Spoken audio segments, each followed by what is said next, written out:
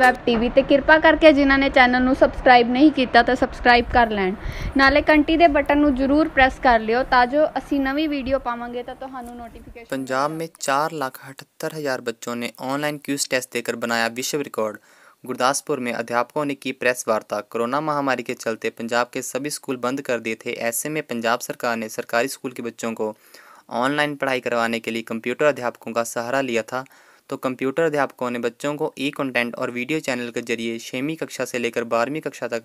की पढ़ाई करवा रहे थे। इसी कोशिश के चलते सरकारी स्कूल के बच्चों को ऑनलाइन पढ़ाई करवाने में पंजाब राज्य देश का पहला ऐसा राज्य है, जहाँ सबसे ज़्यादा बच्चों ने ऑनलाइन पढ़ाई करने में हिस्सा लिया। पंजाब में कुल चार लाख अठहत्तर हज़ार बच्चों ने पढ़ाई ऑनलाइन टेस्ट दिए। अभी तक किसी भी देश में, किसी भी राज्य में इतनी बड़ी संख्या में ऑनलाइन टेस्ट नहीं हुआ। इसीलिए ऑनलाइन पढ़ाई करने में पंजाब के बच्चों ने विश्व रिकॉर्ड बना दिया है। गुरदासपुर में प्रेस को जानकारी देते हुए कंप्यूटर अध्यापक बरिंदर सिंह ने बताया कि लॉकडाउन के चलते पंजाब सरकार ने पंजाब के सभी स्कूल बंद कर दिए थे और बच्चों की पढ़ाई खराब ना हो, इसलिए पंजाब सरकार ने बच्चों को ऑनलाइन पढ़ाई करवाने के आदेश दिए थे, जिसके चलते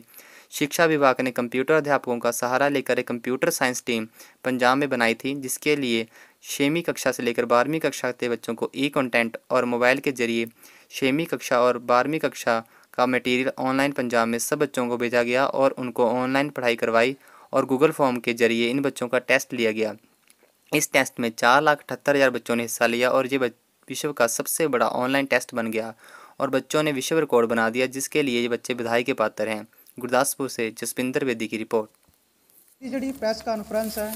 ਇਹ ਪਿਛਲੇ ਦਿਨੀ ਬੱਚਿਆਂ ਦਾ 30 ਮਈ ਤੇ 31 ਮਈ ਨੂੰ ਇੱਕ ਆਨਲਾਈਨ ਟੈਸਟ ਲਿਆ ਗਿਆ ਸੀ ਉਹਦਾ ਨਤੀਜਾ ਘੋਸ਼ਿਤ ਕਰਨਾ, ਉਹਦੇ ਬਾਰੇ ਜਿਹੜੇ ਅੰਕੜੇ ਦੱਸੇ ਜਾਣੇ। ਇਹਦੇ ਬਾਰੇ ਡਿਟੇਲ 'ਚ ਇਹ ਆ ਕਿ ਕਿਉਂਕਿ ਲਾਕਡਾਊਨ ਚੱਲਦਾ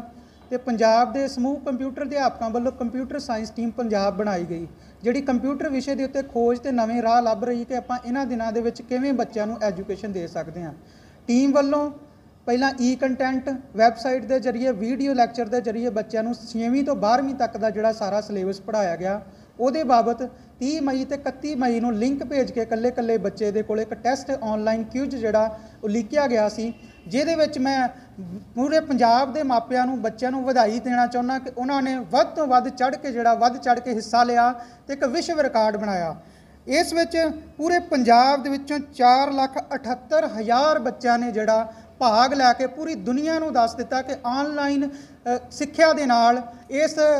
ਮਹਾਮਾਰੀ ਦੇ ਸਮੇਂ ਦੇ ਵਿੱਚ ਵੀ ਜਿਹੜੇ ਸਿੱਖਿਆ ਗ੍ਰਹਿਣ ਕਰਨ ਦੇ ਨਵੇਂ-ਨਵੇਂ ਸਾਡੇ ਕੋਲ ਮੌਕੇ ਆ। ਇਸ ਦਾ ਸ਼੍ਰੇਅ ਜਾਂਦਾ ਪੰਜਾਬ ਦੇ ਸਮੂਹ 6800 ਕੰਪਿਊਟਰ ਅਧਿਆਪਕਾਂ ਨੂੰ, ਜਿਨ੍ਹਾਂ ਨੇ ਇੱਕ ਨੈਟਵਰਕ ਦਾ ਕੰਮ ਕਰਕੇ ਪੰਜਾਬ ਦੇ ਸਾਰੇ ਸਕੂਲਾਂ ਦੇ ਬੱਚਿਆਂ ਦੇ ਨਾਲ ਸਿੱਧਾ ਰਾਬਤਾ ਕੀਤਾ। ਉਹਨਾਂ ਨੂੰ ਈ ਕੰਟੈਂਟ ਉਹਨਾਂ ਨੂੰ ਸਿਲੇਬਸ ਦਾ ਸੰਬੰਧਿਤ ਜਿਹੜਾ ਮਟੀਰੀਅਲ ਪਹੁੰਚਾਇਆ, ਉਸ ਤੋਂ ਬਾਅਦ ਟੈਸਟ ਦਾ ਸਾਰੇ ਦੇ ਸਾਰੇ ਲਿੰਕ ਪਹੁੰਚਾਏ ਤਾਂ ਕਿ ਬੱਚੇ ਜਿਹੜੇ ਉਸ ਦੇ ਵਿੱਚ ਭਾਗ ਲੈ ਸਕਣ। ਇਹਦੇ ਵਿੱਚ ਸਾਨੂੰ ਵਿਸ਼ੇਸ਼ ਤੌਰ ਤੇ ਏਸ਼ੀਅਨ ਬੁੱਕ ਆਫ ਰਿਕਾਰਡ ਦੇ ਵੱਲੋਂ ਵੀ ਟੈਲੀਫੋਨਿਕ ਰਾਬਤਾ ਕੀਤਾ ਗਿਆ ਕਿ ਇੰਨੇ ਬੱਚਿਆਂ ਨੇ ਭਾਗੀਦਾਰੀ ਦਿਖਾਈ ਹੈ, ਇਸ ਦੇ ਵਿੱਚ ਇਹ ਦੁਨੀਆ ਦਾ ਪਹਿਲਾ ਰਿਕਾਰਡ ਬਣ ਸਕਦਾ, ਇਹਦੇ ਵਾਸਤੇ ਜਿਹੜਾ ਅਗਲੀ ਕਾਰਵਾਈ ਉਹਨਾਂ ਨਾਲ ਚੱਲ ਰਹੀ ਆ। ਇਸ ਤੋਂ ਇਲਾਵਾ ਸਾਡੀ ਟੀਮ ਵੱਲੋਂ ਗਿਨੀਜ਼ ਵਰਲਡ ਬੁੱਕ ਦੇ ਰਿਕਾਰਡ ਵੀ ਦੇਖੇ ਗਏ। ਉਹਦੇ ਵਿੱਚ ਵੀ ਅਜੇ ਤੱਕ ਆਨਲਾਈਨ ਕਿਊਜ਼ ਟੈਸਟ ਦੇ ਵਿੱਚ ਅਜੇ ਤੱਕ ਕਿਸੇ ਵੀ ਸੂਬੇ, ਕਿਸੇ ਵੀ ਦੇਸ਼ ਨੇ ਐਡੇ ਵੱਡੇ ਪੱਧਰ ਦਾ ਕੋਈ ਟੈਸਟ ਨਹੀਂ ਲਿਆ। ਸੋ ਸਾਡੇ ਪੰਜਾਬ ਲਈ ਇਹ ਮਾਣ ਵਾਲੀ ਗੱਲ ਹੈ ਕਿ ਪਹਿਲਾ ਪੰਜਾਬ ਜਿਹੜਾ ਇੱਕ ਅਜਿਹਾ ਸੂਬਾ ਦੁਨੀਆ ਦੇ ਵਿੱਚ ਬਣਿਆ ਜਿਨੇ ਇਸ ਲਾਕਡਾਊਨ ਦੇ ਸਮੇਂ ਦੇ ਵਿੱਚ